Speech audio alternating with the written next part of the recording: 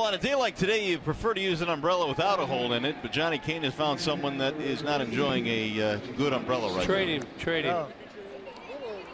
Yeah, this is uh, Tony the Umbrella Man, who just took it down the uh, where are we? Down the left field line here. What happened, Tony? Oh, Victor hit the ball, fall ball. I couldn't see it, but it bounced off. And a young lady behind us got the ball. Teamwork. That is team. Let's see this umbrella. Let's get get a shot in the camera. Sorry, people are gonna get wet here. Look at that. Works well for rain, not for fielding foul balls off the bat of Victor Martinez. Well, nice job. And then Sue back there in the turquoise jacket, she actually caught the, the foul ball. Sue, way to go over there. Way to be on the spot.